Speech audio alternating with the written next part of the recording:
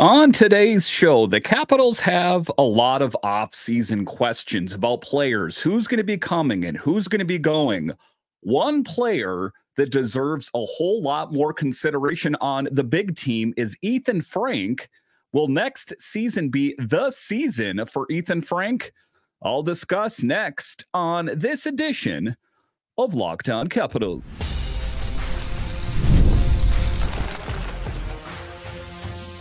Your Locked On Capitals, your daily podcast on the Washington Capitals, part of the Locked On Podcast Network. Your team every day. Well, hello and uh, welcome into this edition of Locked On Capitals. I'm so glad you decided to join me today. As always, this podcast is free and available on all the major platforms, including the SiriusXM app and on YouTube. And I want to thank you for making this your first listen each and every day. My name is Dan Holme. I've covered the Capitals for the last three seasons for Locked On and various other platforms before that. I'm also the host of the weekly show called The Capitals Minute Cast, available wherever you find your podcasts. You can find me on Twitter. It's at DanCaps218. You can find the show on Twitter. It's at Locked On Caps. And the best way that you can help grow the show is to subscribe to Locked On Capitals on YouTube and comment anything down below.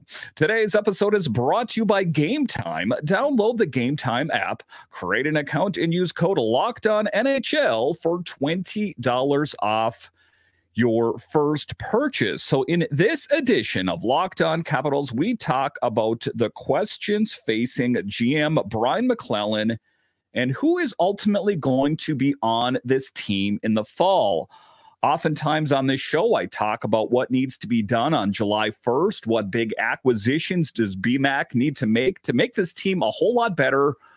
But do they have a lot of good internal options down in Hershey? I'll talk about that a little bit later. We will talk about how I believe that next season needs to be the season for Ethen Frank. We'll talk about that a little bit later. We'll talk about Joe Snively and what his future plans are, and also kind of a guy that flies under the radar, Bogdan Trineyev. What is his future with the Bears, and what is his future at some point with the Capitals? But just to get it going here, talking about the Bears that lost tonight. I was hoping that I was going to be able to come to you guys on the show tonight and tell you about a big win and that the Bears are moving on to the next round. But the Cleveland Monsters had a lot of pushback. So uh, it will take at least one more game to decide the outcome of all of that. But one player has stood far and above everyone else, as far as I'm concerned, and that is Ethen. Frank. And to be fair, there's a lot of great players down in Hershey, but Ethen Frank is a guy that uh, I was a little bit disappointed last season, didn't get a look on the team. The fastest guy in the AHL and the NHL, faster than Connor McDavid himself, uh, that it definitely fits the narrative of what this team wants to do in getting younger and faster. Will next season be the season uh, that we get a look at Ethen Frank on the big team? You know, that's what I'm talking about. We have a lot of internal talent, I think. And, you know, Ethen Frank is just one of many players I think that are due for a promotion. Um, so I think that, you know, before we go out and make any big moves, I still think some big moves need to be made. Make no mistake about it. But I also think they could shore up uh, certain things internally with options primarily in Hershey. But just to get it talking about one player in particular in this first segment, we'll talk about Ethen Frank and how big he has been for the Bears, and I think ultimately will be for the Capitals. The Hershey Bears are making a strong push in the Calder Cup. It could have ended all tonight, and they could have gone on to the next round, thanks in large part to players like Ethen Frank. After narrowly missing out on a call up by the Washington Capitals earlier this season, Frank has been showcasing his talent in the AHL playoffs and is proving himself as a serious NHL prospect. I do believe that's true. Uh, again, much like last summer, and if you're an everydayer of the show, you know, I spoke about that, you know, it was supposed to, it had to be this season for Connor McMichael this past season, and it was. I think that next season needs to be the season for Ethen Frank to see what he has. Leading the Hershey Bears with nine goals in 10 playoffs games, Frank has demonstrated remarkable chemistry alongside Hendrix Lapierre and Joe Snively scoring in each of the last game, six games played, seven games rather. Frank has been the X factor that has propelled Hershey back to the Calder Cup final. And just taking a look at his stats, and it's not just the playoffs in particular, he has been playing outstanding uh, for quite some time. Let's just take a look at the 23 24 season in particular. In 64 games played, 29 goals, 18 assists, good for 47 points. Wow, I think the Capitals could use a player like that. Let's take a look back the year before the 22 23 season in 57 games played, 30 goals, 19 assists. There's a lot to like about that. Um, and then we take a look, like I said, at the Calder Cup here in 10 games played, nine goals, three assists. Hey, if there's anyone out there that's waving their hand saying, Hey, coach, put me in, uh, it is definitely Ethen Frank. And I do think uh, that it, he is due for a promotion. His stellar performance in the playoffs has not gone unnoticed. Frank's production and contributions to the Bears' success have earned him a rightful shot at the NHL spot next season. His capability to make a significant impact on offense and his impressive two way play have positioned him as a top prospect for the Capitals. I do believe it. And um, again, I think, you know, oftentimes we do hear that this team needs to get faster. It is one of the oldest teams roster wise in the NHL.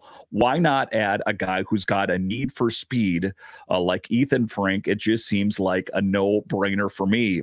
As Frank's contract with the Bears comes to an end this summer, his dazzling performance in the playoffs has created an interesting scenario for his next deal.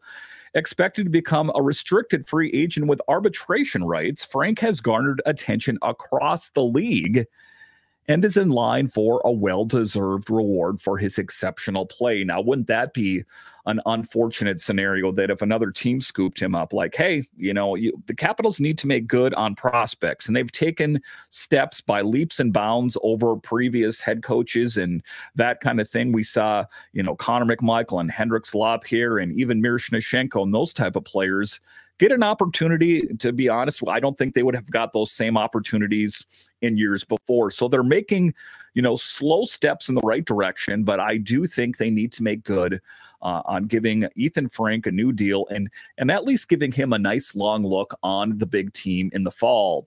With his speed, versatility, and ability to make an impact at both ends of the ice. Frank represents the type of player the Caps need to bolster their offense. It is anticipated that Frank will secure a one way deal and is poised to earn a promotion to the NHL next season to make a significant impact with the Capitals. I think he could be an absolute game changer. And we got, you know, some good looks at players that I wanted to get a look at. Uh, Sgarbossa, we got a, t- a look at Pierre Dubé. And uh, all things considered, pretty good. I mean, I guess Pierre Dubé didn't pop off the page as much as I had hoped, but it was a pretty small sample size. I think the Capitals need to get you know, a nice long look at Ethen Frank and see what he does on the big stage. You know, I know that the AHL is still pro hockey and it's just one step down, but um, I want to see what he can do against some of the best of the best in the NHL and uh, and kind of take it from there. From the time being, however, Frank remains focused on helping the Hershey Bears to win back to back Calder Cups. That is the hope. Uh, again, I was hoping that I would be able to come to you guys tonight saying that they're moving on to the next round, but in any event, uh, it will take a game, at least one more game. His determination and performance in the playoffs have not only elevated his status as an NHL prospect, but have also added to the excitement surrounding his potential next contract. So uh, he is definitely going to be due for a promotion. I hope uh, that they do the right thing and they don't squander an opportunity with a premier talent uh, down with the Bears because just based on how well the Bears have played. I think that many of those players have kind of grown out of playing in the AHL. That either we need to find a spot for them on the big team, or maybe some of those players we need to view as assets and flip them for NHL ready talent. I think that Ethen Frank deserves a home within the Capitals organization on the big team with the red sweater on. Let's make it happen next season. So it's not just Ethen Frank. Joe Snively is another guy that's been playing well for the Hershey Bears, but he may have different plans for the future. I'll discuss straight ahead.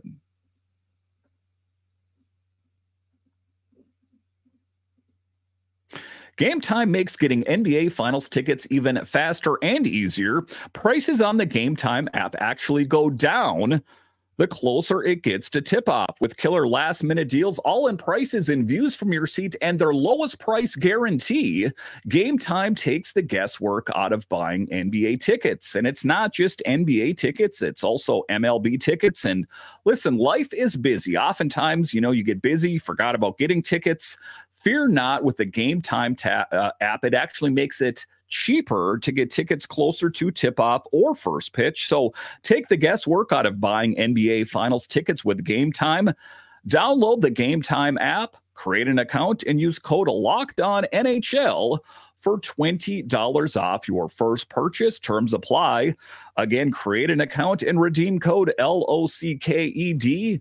ONNHL for $20 off your first purchase. Download game time today Last minute tickets, lowest prices guaranteed.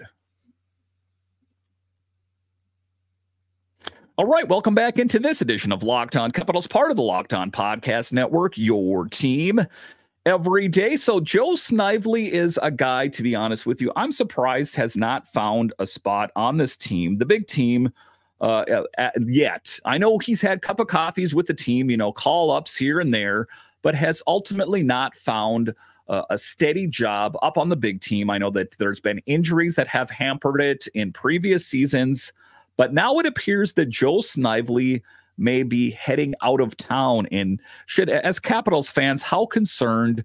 Uh, should we be about that? So, off-season decisions for the Caps. The Washington Capitals face a pivotal off-season as they prepare to make crucial decisions and strategic moves to bolster their roster for the upcoming season. With free agency on the horizon, the organization is focused on shaping its roster for the future. We see that with the integration of the younger players. Uh, we're seeing that you know the small steps have made forward on the blue line with Rasmus Sandin and Martin Fehervary, those kind of players. Um, as you are seeing players like Nick Backstrom step away, TJ Oshie is within question. Alex Ovechkin is within, you know, the back nine of his career in the NHL that they need to have their eyes fixed to the future. Joe Snively's impact and potential departure. Those are causes of concern. Joe Snively is at the center of attention as the Capitals' offseason unfolds.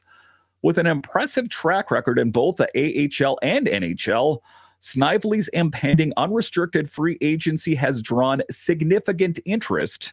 Reports linking him to potential opportunities in the KHL have sparked speculation about his future with the Capitals. Um, so again, that is an, again, he is a guy that I saw having a role on the team. It just seems like he never got the chance. That there was other guys that got bumped ahead of him um, and we've seen this before with other players in the Capitals organization that it seemed like it was going to be their time, and it was never their time. It was other guys promoted around, and when it probably should have been the player like Joe Snively himself. So, what is it? Why would Joe Snively want to leave the Capitals for the KHL? Well, it's money and playing time. Ultimately, as a highly regarded forward, Snively finds himself weighing the allure of the KHL as he approaches free agency the potential for a higher salary and increased playing time at the highest level presents an enticing prospect for the Virginia native as he contemplates his next career move. The possibility of a KHL venture adds an intriguing dimension to his future in professional hockey. And, you know, sometimes that works out for those guys. They go over to the KHL and, you know, if they put in their work and they're worth their salt, they'll find a job in the NHL, or maybe he'll just be content playing in the KHL. That I'm not too sure. And I understand that the KHL is the premier league over in Russia. Um, but you know, I think that for most players, they would like to find a job, uh, you know, within the NHL. Uh, so it's interesting that that is the position that he's going in. You think that he could, you know, get some interest with a, a team within the National Hockey League, but that is his decision to make. Talking about his career and potential impact with a track record of success in the AHL and glimpses of potential in the NHL, Joe Snively's career trajectory has been marked by promise and ambition. Despite his contributions to the Bears and limited opportunities at the NHL level, Snively stands at uh, the the pivotal career defining decision moment in his career. His agility, skill, and potential impact as a five foot nine, 176 pound winger have garnered attention both domestically and internationally. And it's a bit early here. He could ultimately end up signing a deal, uh, I guess, you know, with the Capitals or the Bears or uh, another team in the NHL. It's just, it seems the direction it's going of the KHL. Uh, taking a look at the dynamics of the Capitals roster, the Capitals navigate the offseason landscape and the potential departure of Joe Snively the team's roster dynamics come into focus. The ripple effect of Snively's decision on the team's composition and future moves adds an intriguing layer to the organization's off-season planning. Um, I think that uh, the move out there by Brian MacLellan is to make good on that top six forward that we've heard about for the longest time, but also to, you know, grow from within. That is another thing that BMAC has said that he wants uh, to uh, to to grow some talent internally and promote from within, uh, like I talked about in the first segment. Ethen Frank, those kind of players. In the midst of free agency speculation and roster considerations, the Capitals are poised to make calculated decisions to shape the roster for the upcoming season. So, you know, interesting questions for the Capitals. Which players do they ultimately want to go all in on that they're going to, you know, have a bigger role on the Capitals? And which players do they, you know, view as, hey, let them go? You know, uh, again, it's a bit surprising to me about Joe Snively in a lot of ways, but uh, if there's not a spot for him on this team, then I think that's ultimately the right thing to do. Uh, that he can get on with his career in the Capitals and the Bears, they can get on with their organization and you know kind of get this team molded in the direction that they want to go in kind of push up the players that have been waiting for their opportunity, like Ethen Frank, uh, those type of players, and uh, the other players. If there's not that everyday spot for them uh, playing for the Bears or the Capitals, maybe they should move on to the next one. All right, so we talked here about Joe Snively, but there's other players that potentially could be due for a promotion. And the player I'm going to talk about next is a guy that flies a bit under the radar. His name is Bogdan Trineyev. Does he have a future with the Capitals and where does he fit in with the Bears? I'll discuss straight ahead.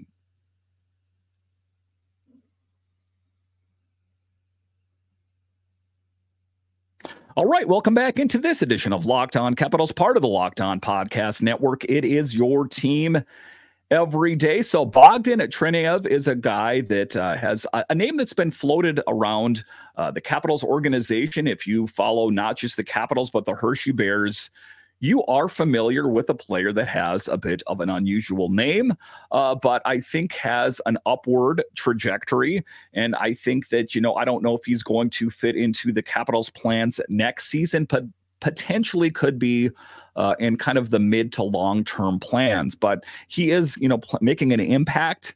Uh, for the Hershey Bears, and I think that you know his play down there and uh, kind of the, the you know the direction that this team is going in. I think that that is where the traction lies. Taking a look at his performance in the AHL, Bogdan Trineyev has been making a name for himself with an outstanding performance with the Bears.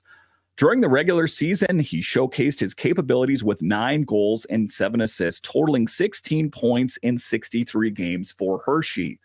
So, taking a look at it, nine goals and seven assists, that's not necessarily setting the world ablaze, but uh, you know he could be you know a good fourth liner, you know, kind of like a Beck Malenstyn or something like that. Um, I think that he does kind of fit uh, a role similar to that. And if you take a look at his scouting re- uh, report, he has taken steps of growth. Uh, I before I was doing the show, I did take a look at his scouting report. He said a true power forward with a good offensive tool set strong puck mover on the power play, but refuses to shoot, needs to add more muscle to fill himself out. Uh, that's kind of a common thing that we've heard about these young guys making their way up. We heard that about Hendrix here and Connor McMichael, that they're good hockey players, but they need to bulk up a little bit because they're getting driven off the puck. Um, and I think that Bogdan is making uh, steps in that direction. In the playoffs, he continued to make an impact, tallying four assists and demonstrating his prowess on the team's fourth line. Trineyev's consistency and instrumental role in the team's Calder Cup run in the first full North American season have not gone unnoticed. Um, and he is that guy that is trying to claw his way, trying to find an everyday role, uh, maybe advance himself with the Hershey Bears and see where it goes from there. Talking about his playing style and physical presence, standing at six foot three and weighing 198 pounds. He's got the, the, the height, not necessarily the bulk at 198 pounds. Trineyev is a physical presence on the ice excelling in bottom six role akin to Beck Malenstyn. His strong defensive awareness, willingness to battle for pucks along the boards, and fearlessness in getting in front of shots make him a versatile and valuable player for the team. And uh, you saw another guy that I forgot to mention in previous uh, segments here was Beck Malenstyn. He was a guy that was waiting for his opportunity and we saw how clutch he was for the Capitals on the fourth line with Nic Dowd, uh, Nicolas Aube-Kubel, uh, that uh, those players definitely, you know, can can find roles on the team. And it's interesting, you know, if you take a look at Nicolas Aube-Kubel and say he gets you know, dealt or, you know, he's not here anymore next season, uh, that that could be a potential opportunity for a player like Bogdan Trineyev. Could that potentially be him or is he still, does he still need a little bit more time to simmer down in the AHL? Trineyev's ability to find the right positions on the ice and make significant contributions away from the puck highlight his potential as a competent power forward. Again, six foot three, good, 198 pounds, a little lanky. I think that if he could bulk up a little bit, hit the gym, you know, consult a nutritionist a little bit, uh, we saw it work. We saw that uh, uh, Hendrix Lapierre in particular looks a lot more bulked up. I would say the same thing goes for Hendrix here because when they first came and they got their opportunities with the Capitals, they also got driven off the puck a little bit easy. Um, so I think that that would be a good advice uh, for Bogdan.